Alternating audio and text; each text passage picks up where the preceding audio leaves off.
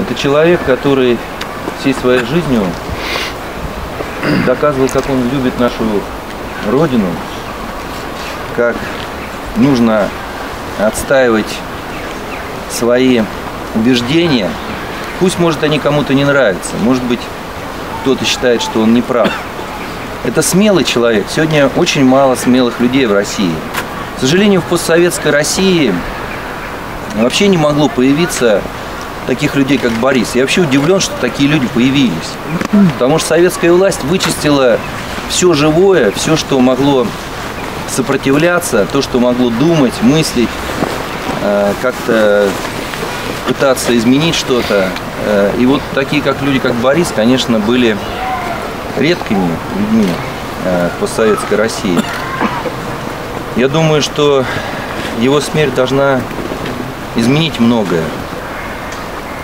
Жалко маму Бориса. Вообще самое сложное для матери это пережить смерть своего ребенка. Я думаю, все мы вместе выражаем соболезнования его матери, его дочке, Жанне, его детям.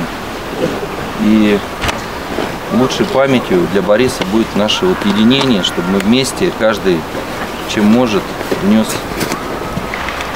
продолжение его дела, чтобы он был не забыт, чтобы его вот эти книги, которые мы вместе с ним распространяли когда-то в Владимире, чтобы помнили о нем.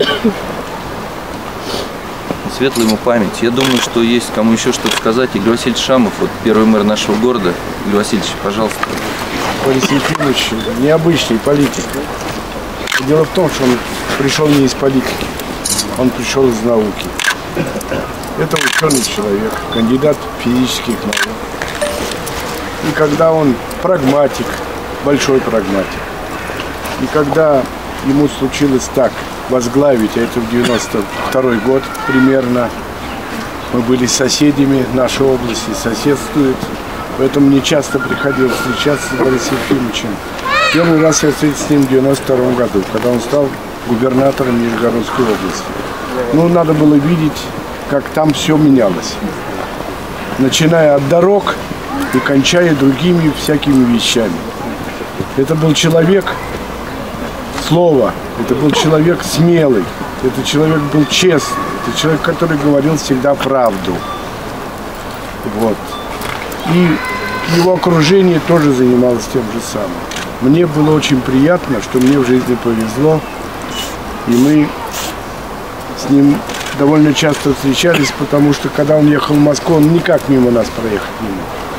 Он всегда, а он делал это ночью, его обычно наши гаишники задерживают. И он мне звонил по телефону ночью и говорил, слушай, скажи своим, ну что тут такое делается и так далее, и так далее. Я говорю, Борис Ефимович, ну ты меня извини, но я-то тут пришел. Вот. Но дело в том, что он был очень подвижный, очень энергичный, очень справедливый и порядочный человек. Ну вот, случилась беда. Как вот так могло быть, я не знаю. Я до сих пор не могу понять, кому он мог понадобиться.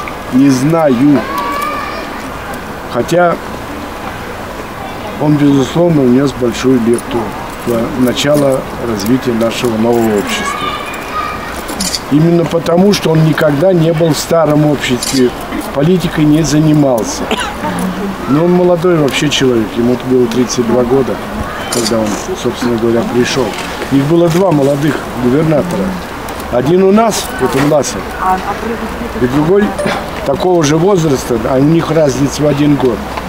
Вот э, Борис Ефимович, который Нижний, Нижегородской областью команды. Ну и вот я хочу сказать, что жалко, очень жалко, когда такие люди уходят. И еще более жалко, когда многие, скажем так, говорят о них плохо. Я думаю, что это люди, которые ничего не понимают в том, что у нас произошло. А Борис Ефимович, так сказать, имея свежие впечатления и веря в то, что можно что-то сделать, добился многого. Светлая ему память. Я хорошо знаю школу, где он учился. Сам Нижегородец. жил рядом с университетом, где он учился. А встречался с ним много раз, трижды были большие беседы. Но я сейчас не об этом.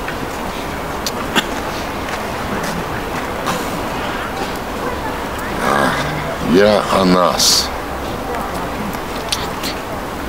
К сожалению, мы вот сейчас соберемся, разойдемся.